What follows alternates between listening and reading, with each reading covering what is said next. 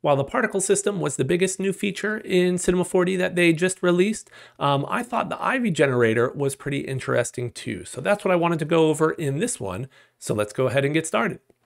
All right, so let's talk about the Ivy generator. Uh, it's one of the new features in 2024.4. Point, was there another four in there? Anyway, we'll open up the asset browser, type in Ivy. We have our Ivy generator node operator here, which is kind of the, the brains of the operation. So let's double click to add that to our scene. If you're going to use your own pre, uh, leaves you've made, great. If you want to use some that are already made for us, we can use those right here. And with that, we are done in our asset browser. Now we can see the leaves that we dragged in. Really, there's two sets here, the English ivy and then the young ones. You know, the biggest difference really just being size. So that actually I don't mind, but if you wanted to just use one or the other, you absolutely could. And um, these leaves also give us a vine material, so we'll drag that onto the ivy generator. And then to add the leaves in, all we need to do is select what leaves we want, make them a child of our Ivy generator. And there we go. So you could absolutely make your own if you wanted more detail, a different shape of leaf, thickness perhaps, um, and just make them a child of your Ivy generator.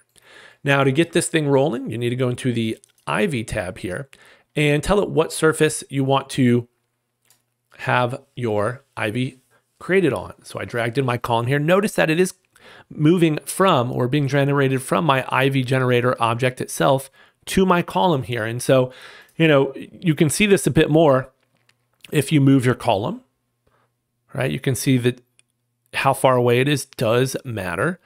Um, and while it is possible to to kind of do something similar with moving the Ivy generator, you have to do kind of get it to redraw, rework by either adjusting the seed or relinking the surface object. So I generally don't recommend doing that. It's just a little bit trickier there. Um, I also want to point out we do have several presets here. So if you wanted something like dense climbing ivy, you can do that. And it, this one will take a second and you'll notice, wait, where is it going? Um, and that's because our column, you know, is either too close or too far uh, away from it. So, you know, it's really, really dense. There's a lot of calculations going on. So it can take a second.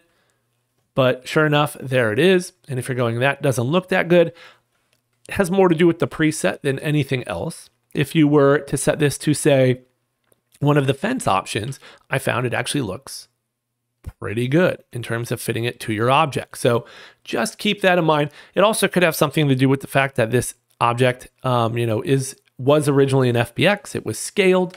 Um, so just be a bit mindful of that.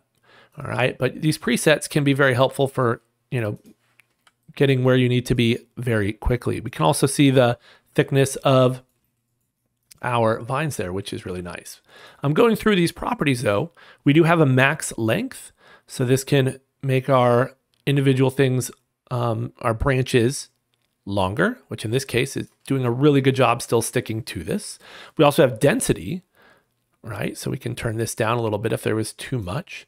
And then branch length, all right? Maybe not as important for something like this where it's doing a really good job sticking to our object, um, but something we would want to consider if it was gonna grow up or be hanging down from something. You also have different options for the length, can add some variation there. And the step size, I haven't seen make a huge difference. Um, it almost seems like kind of like a scale property, but for the most part, you know, I didn't see much reason to um, do anything with it. You do have control over this surface property, so that's kind of how much or little it's going to try to cling to the surface. You can see, you know, compared to what it was before, um, changing this value, we do get the ivy growing a little bit further away or off of um, that. see if we can't right click and reset it. And somehow we ended up with something very different here. Um, we have an offset property. So if you want this to be offset a little bit more or less from your geometry, so it doesn't quite intersect it, that can help with that. And then the stick distance really has to do with how far away your object can be, right? So initially, when my column was further away, nothing was drawing. Um, that has to do with our stick distance. And as we turn this up, you can see it is starting to stick more and more to my object. You can also have a target, so have it grow towards a specific thing. Um, for instance, I could create a null just so we can see this. Let's make it a circle, maybe place it there and use that as our target for our ivy. And you can see that's what it's kind of growing towards.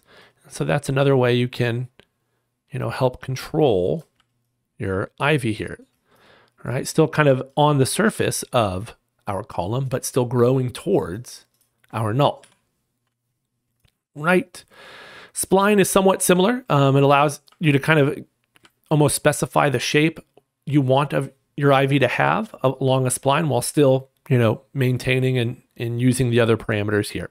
Uh, branching, oops, trying to curl that down. Uh, just some options to control what we're seeing here. A little bit more irregularity, some variation just to kind of change the overall shape, or in this case, smoothness of our branches here. Obviously, we have a seed value, so you can randomize it. And you can see you get very different results here. Something that, you know, doesn't look like it's working very well.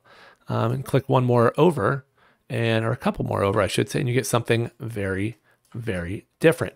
Um, but I do think the fence preset here, you know, at least for this column, tends to work pretty well.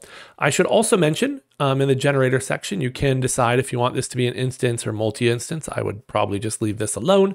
In the object tab, not really sure why we're seeing this, but it's letting us know all about our, our leaves as children, I believe.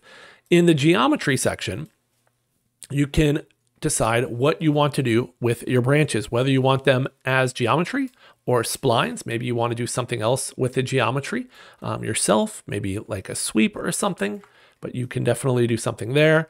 And then, you know, if you only want specific splines, can do that.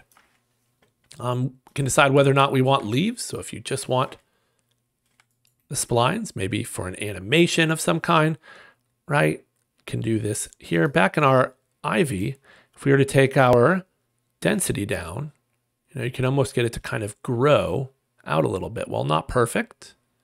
You can see how that does kind of work for something like that. So leaves, whether or not we want a lot of leaf density or lower leaf density, how often we want leaves on our, the segments of our spline, the scale of them, how much variation, and what we want the size for, of our leaves to be at the end of each spline. Okay, whether or not we want clinging leaves or how we want them to react. And then we can mess around. It would help if the leaves were a little bit larger, I think. There we go. Um, you know, the angle of your leaves here, whether you want them to be downward or upwards or mirrored, how gravity affects them. Um, and if you want to add more variation to the rotation, you can do that there. As for the dangle leaf section, I really haven't been able to get this to do a whole lot, um, either by working with the properties here or in the ivy section by working with the dangle force, which is what I thought would have, you know, made a difference here. So uh, if anybody knows why or or how you can do some some things with this, I'd be very curious to know. But you also have different vine options for the thickness, depending on what your geometry um, is doing, or if you're creating geometry. And uh, it's nice that we can control the number of rotations here if you do want to try and, you know, optimize how much geometry you have.